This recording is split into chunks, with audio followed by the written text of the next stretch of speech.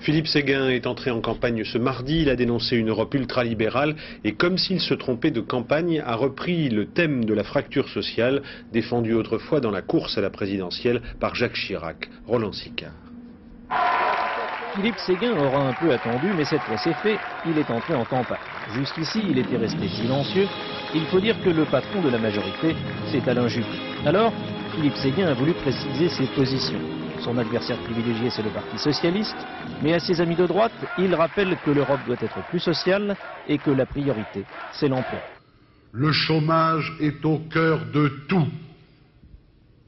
Et si l'on veut sauver ce qui peut l'être, il faut en faire l'enjeu, le grand enjeu de toute politique.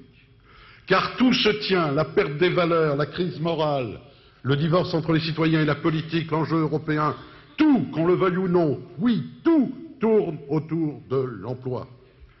Allez parler de cohésion sociale quand vous ne vous attaqueriez pas aux causes mêmes de la fracture.